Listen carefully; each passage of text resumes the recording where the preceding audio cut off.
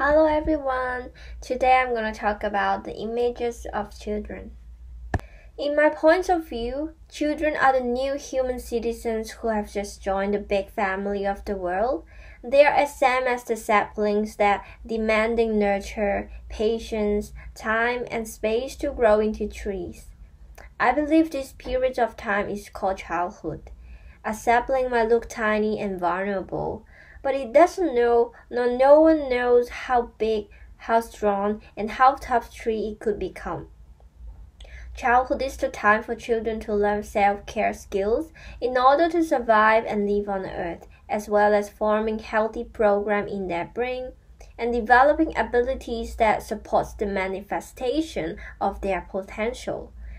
Children are pure and closely connected with their essence and nature. There are infinite possibilities and potential within them waiting to be exploited. So my image of the child is powerful, potential, and knowledgeable. Children may be more physically disadvantaged than adults, but they perceive and do things in new and interesting angles and ways that adults may have never thought about.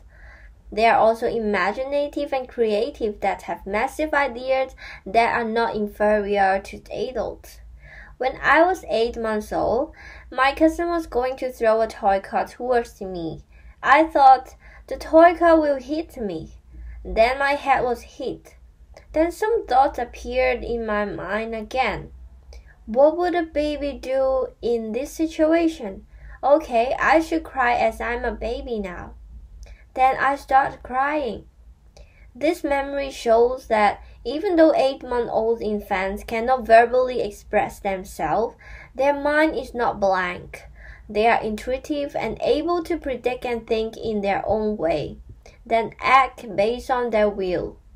Malaguzzi states that children are able to immediately sense and see the spirit of happenings because they are extremely sensitive. I also remember that I truly love running and wandering around in nature to observe and discover interesting things with peers and interact with animals and life surrounding us. So my image of children are also curious and competent explorers, learners, and adventurers who are deeply connected with everything on earth and capable of managing risk while discovering themselves, their potential, passions, and interests in the world. Overly protecting children from any risk equal to viewing children as weak and incapable. Educators should demonstrate firm trust and hold equal belief in all children's abilities and potential to blossom.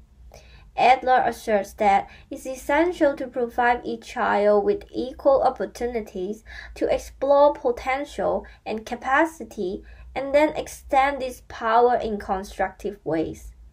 This contributes to children discovering individual uniqueness, keeping one's true color, and self-determining their own value, which is self uh, self-reliance, instead of external compliments. This brings great positive influences on children, developing a firm self identification and sense of belonging in the big family of the world. And I believe that childhood is also the time for new and young Earth citizens to develop deep bonding, connection, and relationship with all elements on Earth and assimilate into the changes and dynamics of nature. Children are viewed by Vygotsky as active participants and partners in learning. They are able to explore new understanding and co-construct knowledge of the world with others. They are also intellectual problem solvers and fast learners, as Vygotsky indicates that they could surmount their limits and solve problems that are beyond their current mental age and apply what they learn in collaboration on the next day independently. Also, Steiner sees children as spiritual beings they naturally observe, explore, learn, cope, and develop a strong sense of belonging and connectedness with the earth and life when they are being in nature. They create and expand potential and strengths based on their interests and are competent to manage real life tasks, prepare meals for themselves, and contribute to nature. This aligns with the image of children in Australia, as they are already the contributors who are aware of environmental issues and capable of appreciating, nurturing, protecting, and maintaining the natural environment. Since my young age, I have inversely disagreed with the dominant style of raising children, schooling, and educational pedagogy. I felt miserable about the gender inequity between my parents Regarding my childhood experiences, I see children as independent, critical, and deep thinkers who are insightful and aware of big questions, such as justice, equity, and power relationship. I realize and strongly believe that children have firm individual perspectives which are not influenced and cannot be filtered by cultures, environments, parents, or surrounding people, norms, the society, and the world. Piaget indicates that children's mind is not blank and they don't learn by simply mirroring and listening. They construct their own perspectives and form their own version of reality through individual experiences and interaction with the environment. They they consider new external information with their internal existing knowledge or concept and most impressively, deciding for themselves what they learn from these experiences. Educators should engage children in discussions and experiences in relation to big and challenging topics. For example, climate and ecological issues, sustainability, equity, diversity, and inclusivity. Lastly, encourage children to explore adventures, solve problems, take and manage risk, and overcome challenges in the natural environment. This fosters children to develop critical and higher order thinking abilities, as well as positive disposition that benefits throughout their life. For example, being resilient and flexible towards and assimilating into the dynamic, unknown, and unpredictability of nature and life. This picture here is in contrast to my image of the child. The woman is holding her head in her palm with messy hair, and her facial expression shows exhaustion, irritation, and annoyance, and seems like looking after children is unpleasant. This demonstrates discourses about children as naughty, monster, and bungle, and childhood seems like a burden to adults. It shows that adults are in a higher position and always right, and lower position for children as if they are innocent and ignorant. The power relationship between adults and children are distanced by the gap of their age and capacity. And children have poor sense of agency because they are weak and incapable of self-caring. Dr. Stevens indicates that there's no such thing as a bad child, but angry, hurt, tired, scared, impulsive, confused children express their feelings and needs by using the only way they know. So, instead of criticizing children's mistake or misbehaviors, it's more important for educators to put their feet in children's perspectives um, guide and find solution with them together through meaningful conversation, communicating with warmth, love, gentleness, and patiently listen to children's feelings and opinions with an open mind and heart. This effectively contributes to children's capacity of respecting others mutually and developing healthy relationships with educators and peers. Adler indicates that children focus on experiences, solution, effort, and improvement rather than punishment, rewards, and results, effectively foster children's long-term self-esteem and empowerment, life skills, and contribute to them becoming lifelong learners. In fact, these two ch- children are not making a mess, but exploring and making sense of their world. As Piaget asserts, children develop connection and intelligence while independently interacting with the environment through senses. Also, the drawing which are which, uh, which behind the food basket shows this respect and appreciation to children's work and effort, as well as their potential and interest. According to Reggio Emilia approach, taking children's work carelessly conveys to children that they are inca- uh, incompetent and their ideas and efforts are unvalued. This picture here reflects my image of the child, as children are capable and the contributors of the world.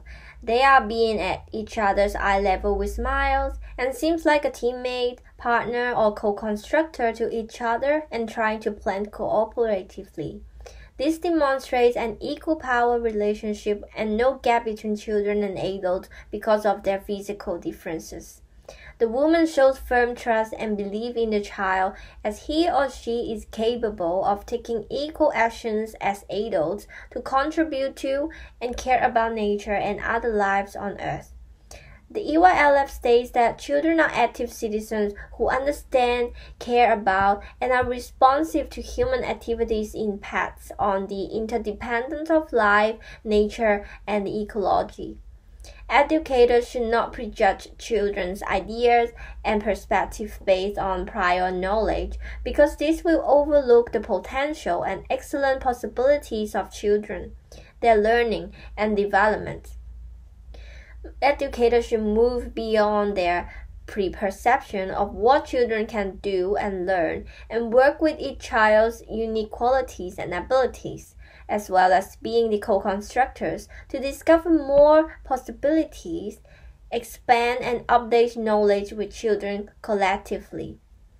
Child, this means childhood is not a period to prepare children for their adulthood, but is the time for them being and living at the moment. As stated in the EYLF, childhood is about the present for children to enjoy every moment of being children in here and now within their everyday life. This picture here shows that children are powerful, potential, creative, and imaginative, which reflect my image of the child.